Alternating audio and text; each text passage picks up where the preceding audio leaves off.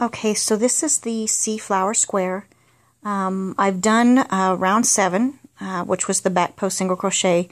I'm doing this in one color for the video, so I just went ahead and slip stitched into the next single crochet after the joining.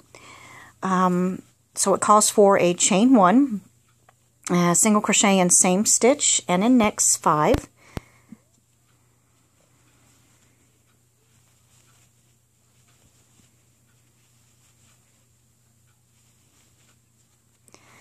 Okay.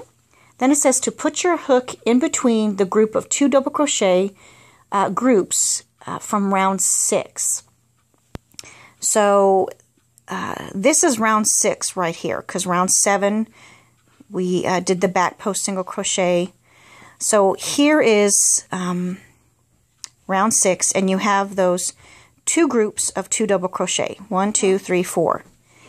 And you want to go in between those two groups, so right there.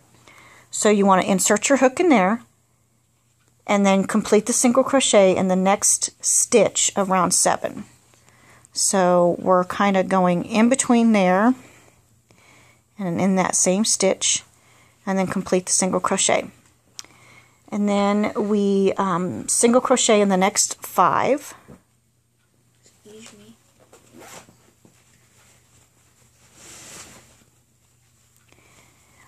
Four, five. Again, skip one stitch, so we're going to skip that stitch and we're going to single crochet in the next six.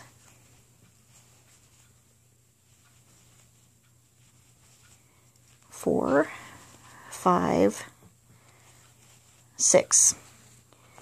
Okay, and then again, we're going to put our hook in between those, uh, between the groups of the two, the group of the two double crochet, so right there. We're going to put it in this area, and then we're going to bring it up through the next single crochet, so in between that space, under those two loops, and complete. So let me go ahead and do that one more time here. So we're putting, um, this is round six, you have those two groups. You want to just go ahead and put the hook in between there. Bring it up through the two loops and complete the single crochet.